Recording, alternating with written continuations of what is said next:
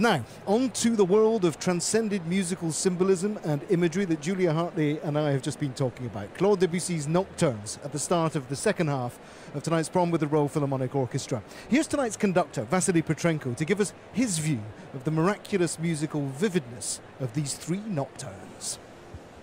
It is written by the pictures, by Impressionist picture of the clouds, of the sirens. The central movement is a festival, and it's probably the most, no, most vivid the others have a lot. I, I say to the orchestra on the rehearsal that the first movement, uh, nuages or clouds, is like Fifty Shades of Grey.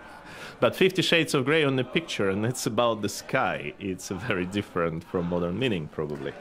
So to do that, as also an author and composer who were depicting some pictures or objects of art in their land or from their land through the music.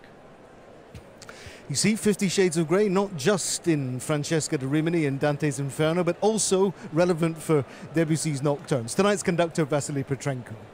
Well, Debussy himself said that the composition of, of music that led into the Nocturnes was this experiment of combinations that can be achieved with one colour. What a study in grey would be in painting, like that reflection with Whistler. But you know, there's also a connection with Charles Ives in these nocturnes because the Fête second movement, well, the brass lead off a procession and a party that starts in the distance and then disappears. And that's a specific moment and memory in Debussy's life when he witnessed exactly that in the Bois de Boulogne. Watching the drum and bugle corps of the Garde Nationale, he said, pass in parade.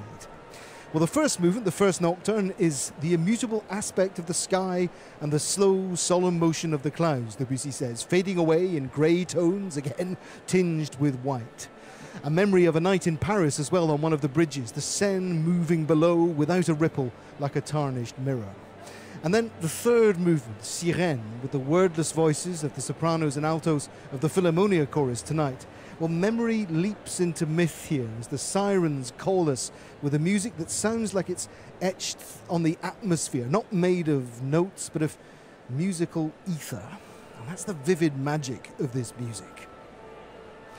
Talking about symbolism during the interval, Debussy resisted the idea of a connection with Impressionism. He felt the, the idea was not to give the sense that music was doing an impression of something else. So, you know, a descriptive version of a phenomenon, the other, and the other thing would be the the thing you're describing is more important than the music about it. No, he wanted the music itself to be physical, vivid experience. That's exactly the alchemy that happens in the Nocturnes. Here's Vasily Petrenko to conduct the Royal Philharmonic, Royal Philharmonic Orchestra and the Philharmonia Chorus in Claude Debussy's Nocturnes at the Proms.